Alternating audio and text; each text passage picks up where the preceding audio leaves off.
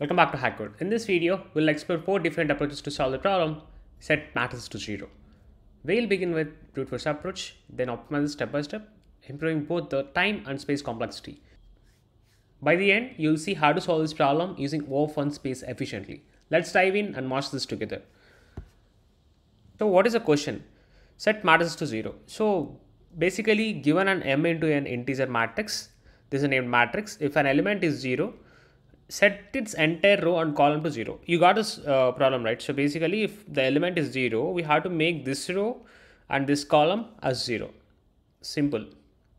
So we just need to have a keep track of where all zeros exist and then uh, we have to uh, for, uh, reform the matrix accordingly, right? This is a matrix given. Uh, this is how we represent the two-dimensional matrix. So this is uh, as we can see here, this is the row 111 and 101 is under row. So 111 is under row. So all these step together, this form like column and row, just the two-dimensional matrix. And then the output is like this one. So you got to know right how to do this out uh, reforming. So basically here, like if it is zero, we keep it all these things as zero. That's all. Coming to second example, we have zero here. So we have to make this and this as zero and here also same this and this. We already made this, so we don't need to do that again. And this has to be zero. So yeah, that's the crux of the problem, what to do and all. So constants here, so m is equals to matrix length, n is equals to uh, matrix of zero length. So basically these represent the row and column. We'll see uh, like uh, how, like if you don't get the idea, we'll see it later. And then here m and n or the enclosure range of 1 to 200 and matrix like each element in the matrix uh, ij is a typical representation of these elements in the matrix and they're in the like uh, integer uh, range only so minus 2 power 31 to 2 power 31 minus 1 so here um, there's a follow-up. Like a straightforward solution using m, m cross n space uh, is probably a bad idea but this can be a possible solution. That's why they're given this. And then uh, simple improvement is a simple o of m plus n space but still not the best solution. Could you devise a constant space solution? Yes we'll do that. And see if you get us um, like if you don't get how to uh, solve this problem we, we'll always go through the hints. Like in interview also interviewer always gives you hints. It's not that uh, you're referring to only your thought process like interview will help you in, in uh, like coming to the solution. Also like uh, if you're stuck which problem is this like which category it belongs to you can always see the topics. So here it is array. Definitely it's array because like we use a two dimensional array and hash table and matrix. Something to do with hash table and matrix. Matrix is all like we already have matrix here. And companies like what all companies is like I don't have premium so I don't have this. So hint one. So if any of the matrix has a zero we can record its row and column number using additional memory. But if you don't want to use extra memory then you can manipulate the array instead. Simulating exactly what question says basically this hint like would give you some idea but keep this in mind. Uh, will drive to the solutions. And then second hint they given is setting cells to zero on the fly while iterating might lead to discrepancies. What if you use some other integer value as your marker? There is still a better approach for this problem with O of one space so basically all these hints they are given and you can explore the hints like this one you would have is two sets to keep track of rows and columns which need to be set to zero. And but for O of one space uh, you can use only one of the rows and column to keep track of this information. So basically this they're saying like we have hash table right? That's uh, essentially like we can use set okay? And then we can use two sets to keep track of what all zeros exist in given row and column. And next is uh, we have hint for the we can use first cell of every row and column as a flag so this flag would determine whether a row or column has been set to zero so these are the four hints given so probably now you might know how to solve this problem as well seeing these hints even if you don't get the hints don't worry we'll drive you step by step so first approach using brute force. So basically we have uh, this given matrix. We just need to make a copy of it. Why copy of it? Because if we change it on the fly, you, uh, firstly like it's okay to change it 0, 0, 0, 0, 0 here. But if you change this zeros, you might end up like taking considering this as zero and make this like whole matrix zero. We don't want to be in that inconsistent state or discrepancies. That's why we have to uh, do a copy of this matrix and that would be having O of m cross n space complexity. That's what they mentioned in the first hint if you had seen that, right? So I, that hints, uh, that hints are just like for giving you idea. It's not like you had to go through hints every time. Okay, so uh, firstly, uh, we got to know that we had to define some extra space. Uh, because like we don't want discrepancies. How to define that extra space? In that extra space also be careful. You should not be doing shallow copy. Shallow copy is like just like pointing to the same space where the array 1 point to. So that's why uh, if we change this array 1, uh, will reflecting uh, the same change in array 2 as well. So they both point to the same memory location. We don't want to do that. We have to do deep copy. Deep copy uh, is like we, we take every like we don't uh, refer to that uh, memory space but instead like we'll rather create uh, like we create a clone of it. It's like uh, we are not changing in the same memory space. This is the important interview question the conceptual base. Keep track of it okay? So the approach. So how do we solve this? Firstly the basic thing we require is row and columns order row and columns so that we have to create a, another copy matrix as well right? Like that's a basic thing we have to be thinking of. Firstly we need the dimensions and then after getting the dimensions uh, what we need to think is we need to iterate to the dimensions and then make a deep copy of the original matrix. You know why deep copy is required by this time? And then this ensures because this ensures original matrix remains unchanged during the uh, marking phase. We have to mark zeros like where it exists and all right? So we don't want to do that uh, to the original matrix because original matrix would be uh, having some discrepancies like uh, as we just discussed so and then we loop through the original matrix to locate the cell that contains 0 so once 0 is found we mark the entire row uh, in copy matrix with zeros okay similarly we mark the entire column in copy matrix with zeros so basically we replace that row and column with zeros if we found 0 in this original matrix for that like let this instance if we found this 0 we'll make it uh, this row and this column as 0. That's the intention. That's what we're doing. We're just translating the problem statement into a solution. See, there is always solution in given problem, okay? You just need to think to that lines. And then what we do, uh, we just finally copy the modified values from the copy matrix back to the original matrix. Simple. So now we got, like we replaced whatever we required. Now uh, we just need to copy this to the original matrix. That's all we, uh, we cannot return this uh, copied matrix because they are referring to the same space. Uh, like we have to modify in place. It's like pass by reference we have to do. Okay. So that's why we need to modify the given matrix only. We can't send the copy matrix here. Uh, they're referring it as an in place operation. Okay. So that's, uh, that's why we had to do this. Else like we could have sent this copy matrix back.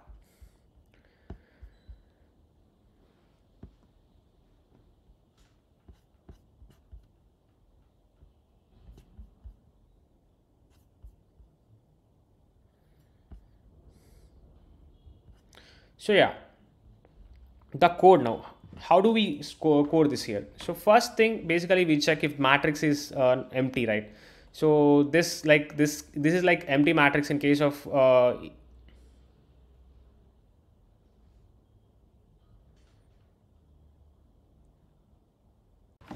So let's look at the code here. So firstly, what we do, we do input validation because like if the matrix is empty, we don't need to do anything next. We return like none. So we can return none.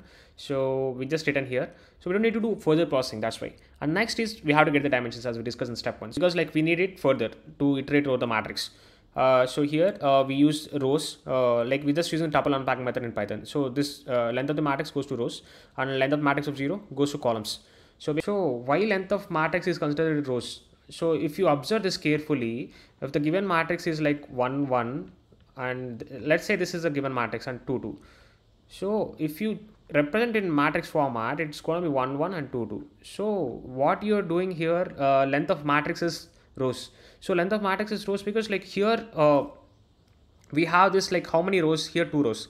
Each row we have a one of the uh, list right? So that's why length of matrix is rows and length of matrix of zero. So this row length like this list length is going to be a column.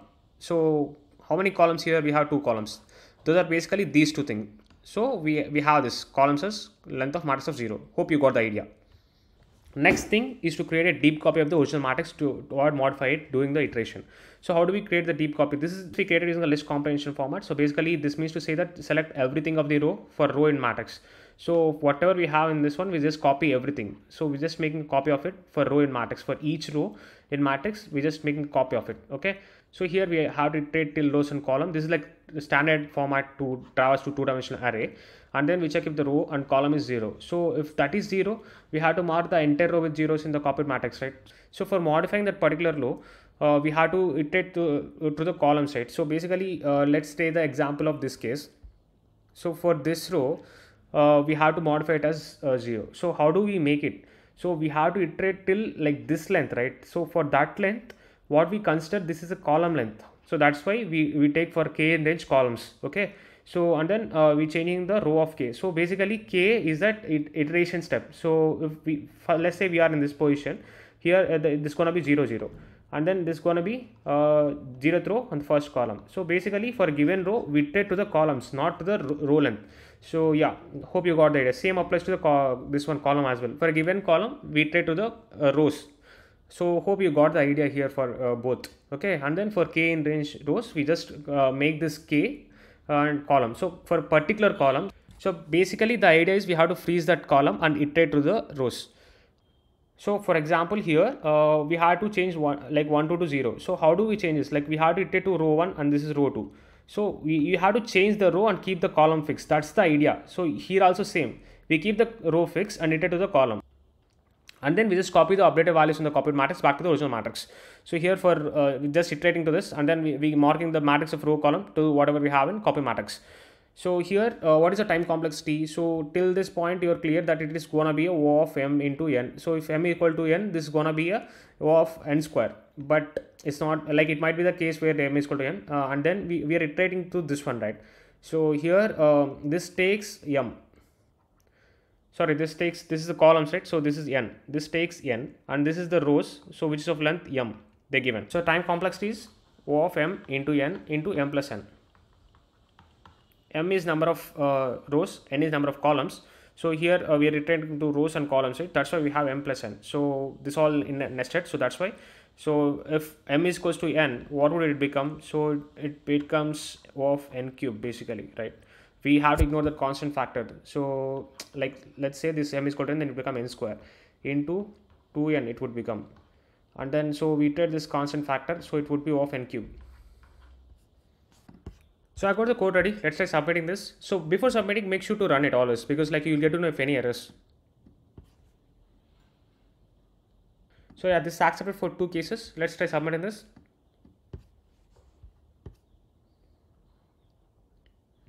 Cool, this accept solution and almost with 55% of users. So even if you solve with this brute force approach, uh, the problem would be solved, and then you'd be like in interview, like you'd be considered for the next rounds. It's just like uh, you had to solve this problem. It's not like they always expect the optimized solution, but if they ask for optimized solution, let's look at the optimized solution now. So we can optimize this solution further using set. So now you would be getting the idea, right? Like uh, instead of having entire uh, matrix clone, what if we keep track of what column and what row to be changed to zero?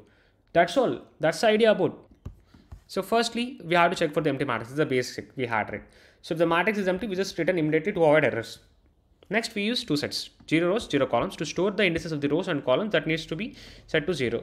Very simple, right? If you have this, then what else like stopping us? That's all like we have our solution almost done. We just need to loop through this matrix and identify the cell that contains zero and mark the corresponding rows column. Under that, we just loop to the matrix again to set the cells to zero if the row or column is marked. That's all right, simple. Like what's stopping us here? We have all this zero, what rows to be set to zero and what columns to be set to zero. We just iterate. It's a simple. This is a base case which I discussed. Like if not matrix, we return. So here we don't need to do anything. So that's why we return an empty matrix or null. Uh, we can do either way. Like uh, this won't be the case maximum for this uh, question, but it's just like edge case handling. So here we know what we are doing. We just uh, using this zero rows and zero columns to like insides to set yeah this is a tuple unpacking approach. And you know why we have this? You just have these measurements uh, for row and columns. And then we just couch the matrix to identify cells with zero and mark the corresponding rows and columns. So this is a standard way of iterating to the two-dimensional array for uh, like for row and rows and then for column and calls. So if any cell is zero we just uh, for that particular cell we add the row and column to the zero rows and columns respectively right? Step 4 is just like update the matrix by setting uh, cells to zero based on their marked rows and columns this is also a pretty standard format of iterating the two-dimensional array and then we just check if the row is in like what we need to do here. We need to consider only for the rows which are in the zero rows and then which or like for the column which is in the zero columns. So for both of the things we have to modify it it's not unconditioned by the way. It is or condition. Make sure like here uh, we have the question like if any uh, say this is zero we have to mark whole row as zero and we have to mark whole column as zero. That's why we have this or condition so it's like if they had asked like only particular row, we can change that row. That's it's like or condition here. It's or, it's not and. Like I repeat, that's why we use the condition, and then we set this to zero. All set. We have this problem solved. I got the code ready. Let's try running this. Let's accept it. So let's try submitting this.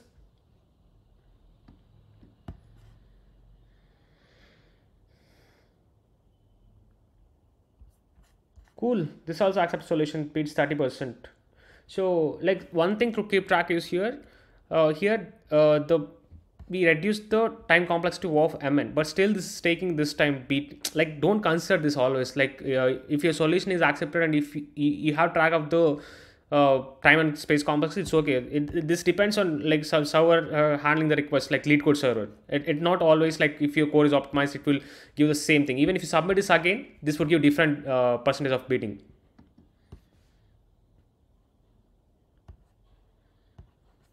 see now it says 48 so don't rely on this okay? If, if code is pretty much optimized it's okay to not consider this okay? So what is the time complexity now? Here time complexity is uh, we are iterating to the uh, m and n. So that's basically o of m into n. And the space complexity here is o of m plus n. O of m is what the rows uh, number of rows and number of columns. We are using the two additional sets. In worst case we need to have all rows and all uh, columns to be zero. That's why we have to consider that worst case always in calculating the space complexity that's why it's O of m plus n. So the space complexity is O of m plus n and then uh, the time complexity is nowhere exceeding the O of m into n. m into n because for m rows and n columns we're returning that's why it's m into n and here m plus n because we use two sets. So hold on guys now that we solved using the set do you think that it can be solved using list? Yes you have guessed is correct. We can solve this in list as well. So what changes? So in set uh, in list like we can't do uh, in check right? Basically if we do the in check that would be again o of n cubed because here come on guys that's going to be referencing whole list. So that's why we have to do uh, optimize like we have to think of optimal way. Here uh, always like set uh, lookup is o of 1 you know right? So that's why we choose set. But we can use list with same time complexity and space complexity by thinking differently. What we need to think we have to fill the list. Uh, let's go over the approach like that I'll, I'll, be having it here okay so here uh, we see right this same step remains. Check matrix is empty so return empty or return immediately. And then our instance two arrays same same case same scene. Traverse to the entire matrix if uh, identify where zeros are located. And then we mark the corresponding rows and columns so loop to the matrix again and update the cells based on the marking from the step 3. Basically, the entire step is same, but we are using list and using the same time complex and space complex. How do we solve this? So think of it like if you have the lookup, lookup in list is always O of 1 based on that uh, in, index lookup I meant, not in operator. In operator in sets is O of 1. So index lookup in list is O of 1. So the, using the same property, we can solve this using list as well. If we use uh, list here before, so that would be, uh, it would be like why the reason why we don't want to use in operator is like in operator list will iterate through everything. But for set it would have some some pre-processing. That's why it's off one always. Remember don't uh, like avoid doing the in operator in list okay? Uh, so here how do we solve now? We know that we're not doing in operator we know that uh, it would be costly. How we solving now? That's the question so we just keep uh, like this is same. So here uh, you know this till this step is very much same. And then here this is the crux of the uh, solution okay? Here we are marking boolean guys. So here if like if zero row how many rows are have to be zero? We just uh, initialize so we go with the optimistic approach here thinking that like we don't need to change any row. That's why we keep false. If it is false we don't change. Like boolean to keep track of to change or not. If it is true we have to change the original matrix so always go with optimistic approach in life or in problem solving as well.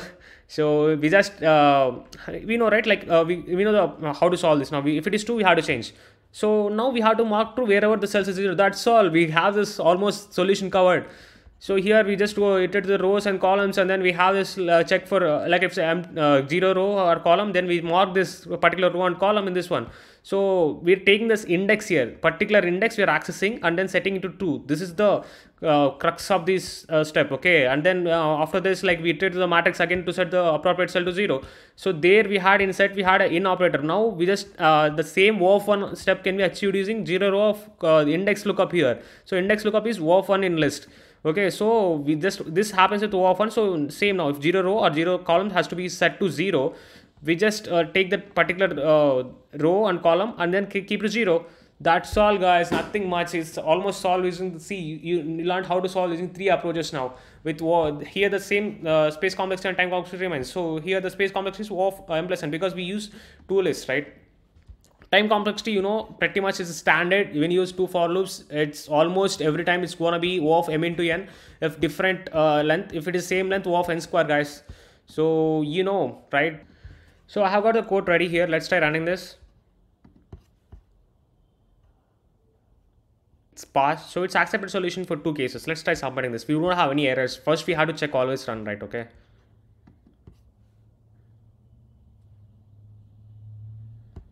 So yeah, it beats 66%. So it's accepted solution. Cool. Congratulations. Now we know how to solve this in three approaches. You're almost there. Like interviewer would be pretty much impressed if you say three approaches. Okay. Next, like if he wants further optimization, he's some greedy guy. Okay. In that case, we have to go for this further optimization. It's not always the case. You have to go for O of 1 optimization here. So what is O of 1 optimization? So here, what is the intuition basically? So intuition is like guys, like see to achieve the O of 1 space, like use the first row and first column of the matrix as a markers to track which row and column should be zeroed. And after marking, we just iterate again to update the matrix, uh, then handle the first row and column separately if they originally contain zero. That's the crux of this. So basically, instead of keeping track of another matrix or another uh, set or list to mark uh, where the zero exists, we just use the first row and first column of the matrix this is the first row, first column of the matrix to indicate if they have to be marked as 0. That's all. So basically uh, like if this has 0, we keep this one and this one as 0. That's all. And then we just update this as 0, 0, 0, 0. So guys here like uh, always see that uh, for the first row and column, we have this is a common. We don't know whether we have to change the uh, column to 0 or row to 0. So in that case, uh, it might be the case where uh, see if it is a zero uh, let me take a, a, solid example if it didn't clarify you so let's say we have this array of uh, 1 1 uh, 1 0 and uh, we have this 1 1 in this case uh, if you mark this as 0 uh, in, with our latest approach this 0 does uh, means that we have to mark this as 0 and this also as 0 so in that case like since this first row and first column gonna be our reference in this case we don't want to get confused that we if we had to change whole column if the row is zero for that cases we have to handle this case separately because this is common for both row and column. We don't know column to be uh, zero or row to be zero. That's why uh, we keep track of this one using the two booleans here. First row has zero first column has zero. So now i told the overview. So let's go for the full explanation here. We use the first row and column to mark which rows and columns set, should be set to zero so here the first row has 0 and the first column has 0 flags keeps track of whether the first row or column contains any zeros initially. Why? Because we already seen here. You got this step now. Now we skip the first row and column and update the rest of the matrix based on the markings we find in step 1. So why we skip this? Because we have to handle these cases separately. It's like they're common to both row and column guys. That's why we don't want it to handle that in the same thing because we might be ending up uh, making both to zero if even if one has to make zero one column and row has to make zero. That's why uh, we handle this separately. Step 4 this is very much same. Finally we have to handle the first row and column separately setting them to zero if required based on the flags not always you have to make both first row and column as zero right? Uh, we saw here solid example. In this case uh, sorry this is one this is one. In this case we just need to make this row has 0. Here the first row becomes 0, not the first column. So that's why we always uh, handle separately. So as I said, we always go with the optimistic approach. Uh, so is that's that like first row is uh, like zero, we make it false because like we don't uh, we consider we don't need to do that change. That's the programmer. Program is always optimistic, you know. So after this, uh, we go to the matrices to mark zeros in the first and first column. So basically, here I'm stressing this point again. We're not using extra space. Uh, we're using the first row and first column to be our guides or references to mark this entire row and column to be zero guys. That's what. So here uh, we're just going to the rows and the columns and then we, we just check if the cell is zero. And then uh, if the zero is in the first row so basically we need to know these guys are for a reason right? We need to uh, actually set them they are zero. If row is equals to zero row count is zero that means the first row is zero buddy. So we have to make it true. And then if the zero is in the first column mark it. So first column is equal to zero. We just mark the first column as zero to true. So we're done with handling first row and column. Now this is for rest of the things. So how do we mark it? We know we have to mark the first row or first column to be zero if that particular row or column has to be zero. So for this process let's take a cell so this is cell of i comma j I'm just representing some particular cell I'm taking. This is like cell is uh, some matrix here, uh, matrix named cell here. In that I'm taking some particular ij. Okay. So if this cell is equal to 0, So here, let's say this is i comma j is what we have. So for this, we have to make this row like this has to be 0 and this has to be 0. So for the ith row, we have to make this first column as 0 guys. So that's all we, we do we take this. This case here is the i comma i comma 0. And how do we represent this one? This is basically 0 comma j, uh, 0 and j, right? So that's all we're doing here. So basically what we are doing, so if this is 0 and then we're marking this is equals to and cell of 0 comma j is equals to 0. So we're just marking this as 0 to keep hold of a reference to mark entire column onto as 0. You got this right? and then we just iterate to the matrix excluding the first row and column and update the cells to 0 if the row or column is marked as 0 before. Like basically if the first row or column is marked as 0 we need to update it. We know why we are handling this case separately because this is common to both. So we're checking if this first row is 0 and first column is 0 and then we're setting this cell to 0 matrix third row comma column is equal to 0 okay and then uh, this is the case where if the first row was marked so set the entire first row to 0 so basically we have this first row marked like first row as 0 we make this uh, true. In that case we have to set this first row uh, to be like 0 right. So for that the, we, we access the first row using the 0 and then uh, the column is keeps variable here. So column like it can be first column or second column right. This is the row the column could change. So this could be first column like 0 to 3 right. So that's what like we keep this row fixed and then we take over the column to make this uh, row entire row as 0 and then same is for the column if first column as 0 we keep the column fixed and we iterate over the row. That's all. So the row keeps changing and then we uh, make it like uh, this is a variable row. This is the uh, zeroth column. So because row can be we have one two three. Any of this row this column should be zero. That's why we iterate over this and then we make it zero. So what is the space complexity here? We don't use any extra uh, like array as such. This is just two variables we use. That's of one only we and then we use only the first one first column only to have a reference to mark others to zero. So it's just O of one only here. Like we haven't used any extra space guys. Congratulations you learned it. The time complexity guys you would have guessed it. It's of m into n. Basically uh, m uh, this is of length m this is of length n. This is m into n. Here also it is same thing m into n. Here uh, so totally if we do the steps O of mn plus another uh, what we're doing this another set of O of mn plus uh, this one set of m. Uh, we're trading the column set that is going to be n. N and then we're trading till uh, rows length that is going to be m. This is going to be a 2m into n plus this is going to be a O of n plus O of m. So out of this like constant would go off and this also should go off because like this is more greater. So whichever is greater we consider that so this is O of m and time complexity. So I have the code ready. Let's try running this. So yeah, it is accepted. We don't have any issues. Let's try submitting this. So yeah, this also accepts solution. It beats almost like 55% of users. So yeah, we're cool. So guys, you learned how to solve this problem in four different ways. Like your interviewer will pretty much impressed and definitely would be qualified to next round guys. So buddies, that's a wrap on solving the set matrix zero problem with four different approaches. If you found this breakdown useful, drop a comment below and share your thoughts. Don't forget to like the video, spread the word to your fellow coders and hit that subscribe button for more in-depth coding tutorials. See you in the next one.